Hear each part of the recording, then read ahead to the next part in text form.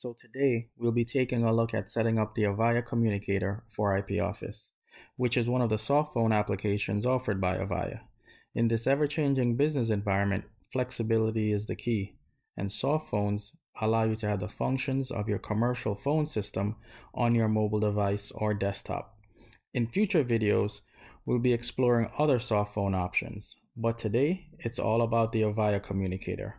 We're going to need a few things though before we get started the Avaya Communicator application itself, your IP Office Identity Certificate, and to make it all work, those dreaded licenses, either the Remote Worker or Power User license. Let's get started. Guys, so first I'm going to jump over to avaya.com, support.avaya.com. Once we're on the website, uh, we're going to jump over to support downloads. This is where we're going to grab the communicator application. Just put IPO, select your version. From that list, to select general availability. General availability, I'm going to scroll down and grab that application and that's going to be Avaya Communicator.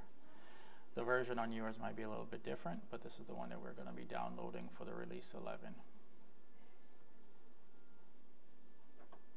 You're going to allow pop-ups, close,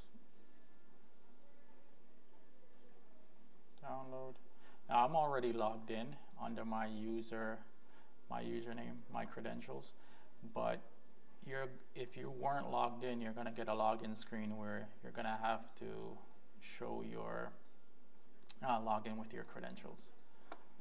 Sorry, allow. And then we're going to save.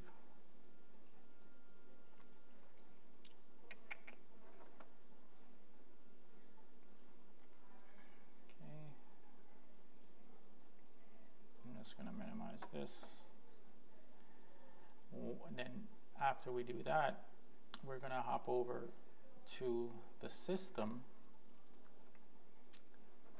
which is the IP office, and we're going to grab the certificate, the identity certificate. So again, the IP addresses might differ for you, but mine will be 192.168.1.100. You're going to jump over and you're going to log into the web manager.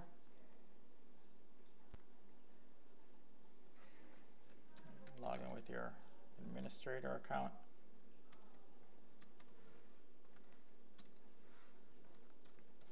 Now if you're not never logged in, this is your same credentials that you would be using on uh, a manager to log in as there's no difference and we'll be doing that in, in a bit.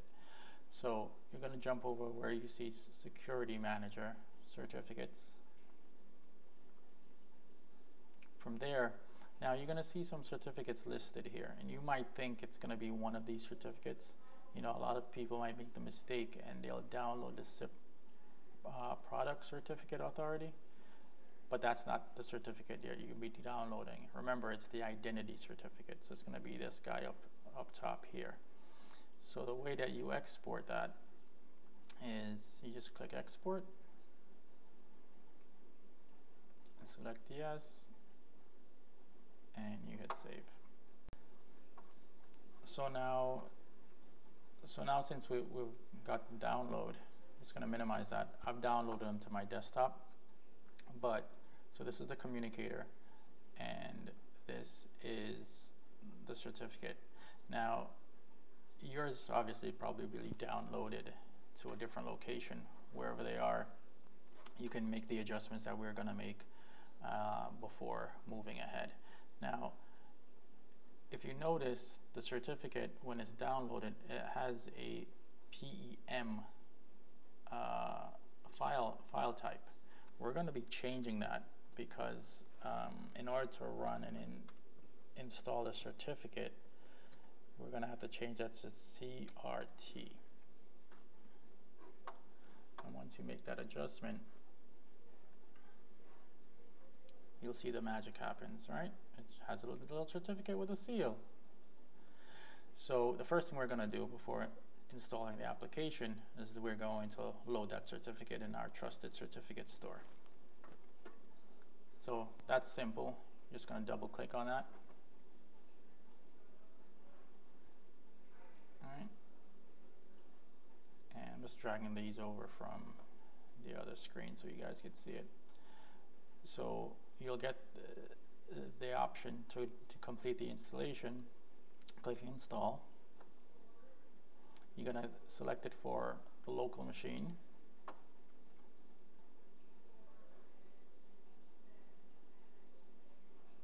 And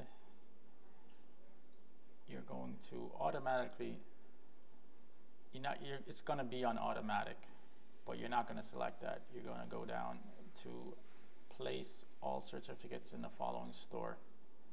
I'm going to hit browse. I'm going to make sure that it's not on personal. We're going to be putting it in a trusted root certificate authorities. Click OK. Hit next. Finish. And there you go. The import was successful. You hit OK.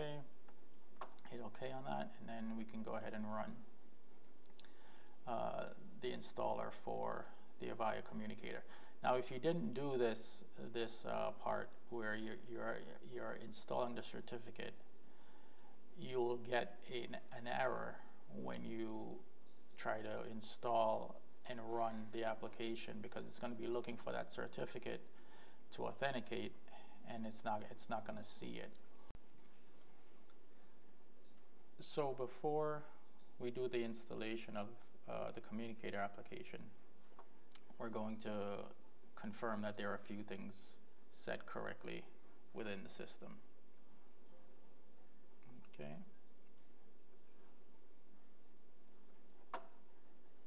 And again, you're going to log in with your admin credentials.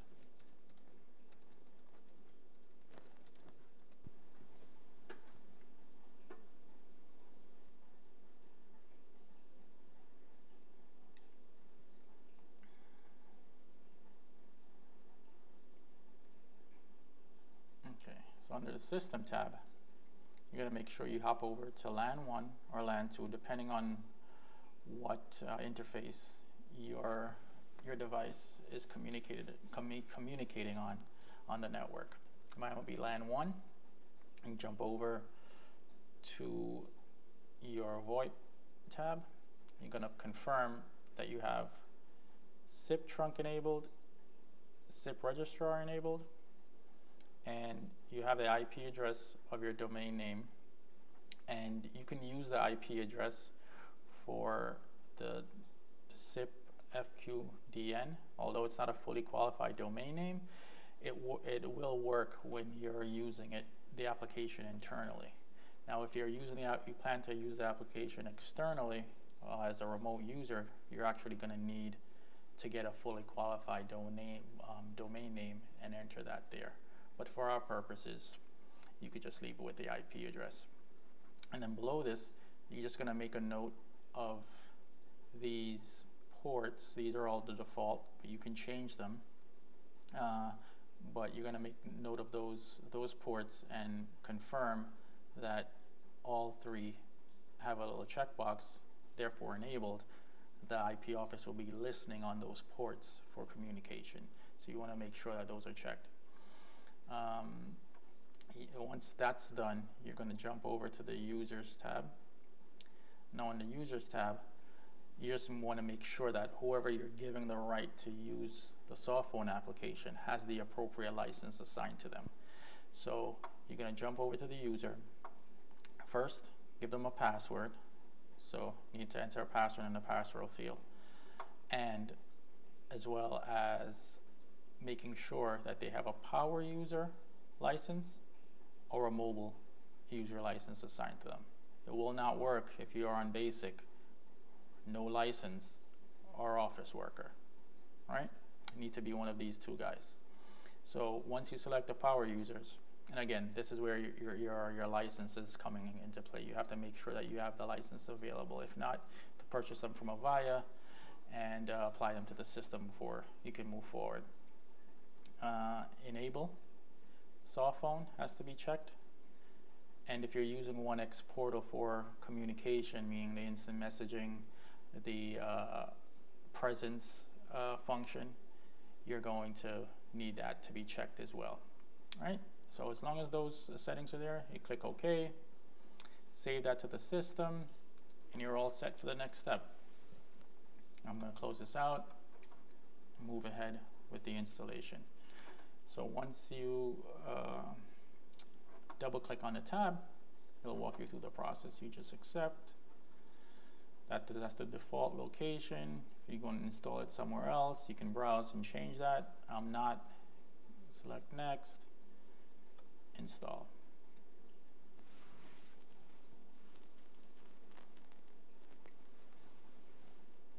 Now again, if you guys haven't subscribed, this is your time to subscribe to the channel.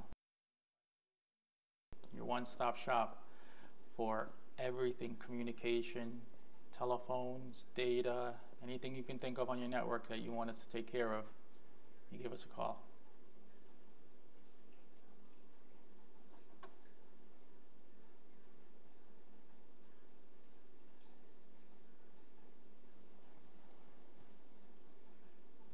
And I'm not speeding this up, this will give you an idea of how long it actually takes to install the application. and click finish and you could check leave that box check where it says launch uh, the application after finish.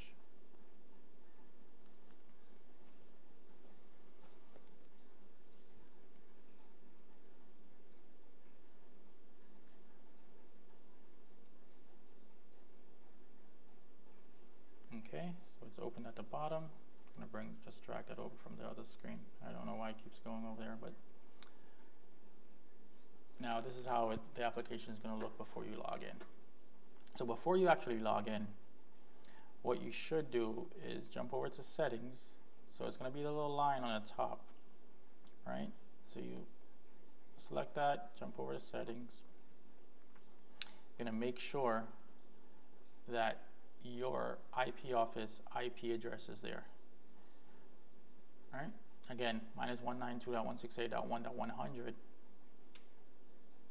but yours may be different. Again, this is where the port comes into play.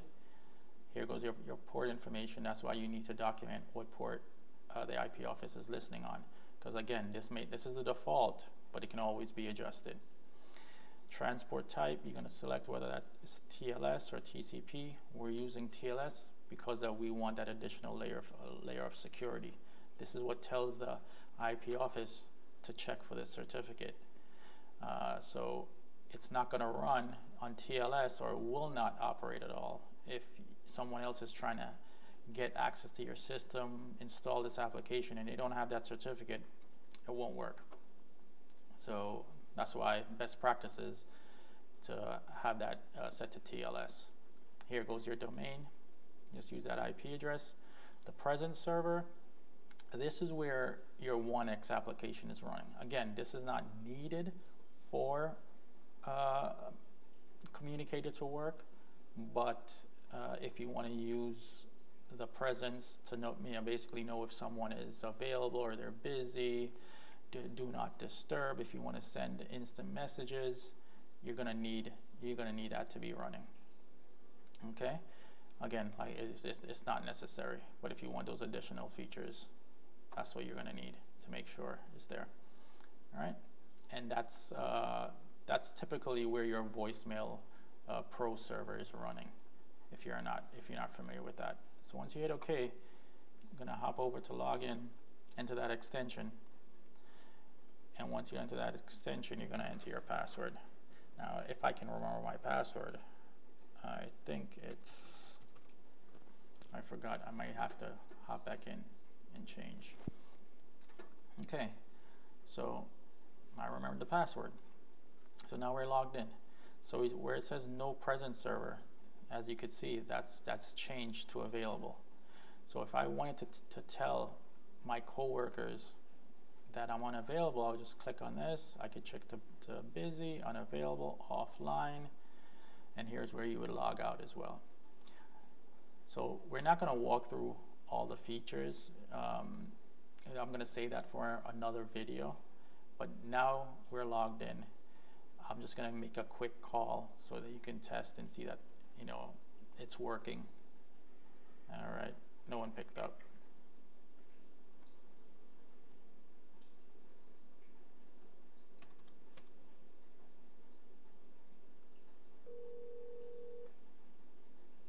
And there we go, calling. No one's going to pick up. It's going to go to voicemail, but that's just to show you the interface. Again, we'll make another video uh, actually walking through all the functions. Leave your comments at the bottom. Anything that we didn't cover that you want us to take care of, uh, just let us know and we'll drop that video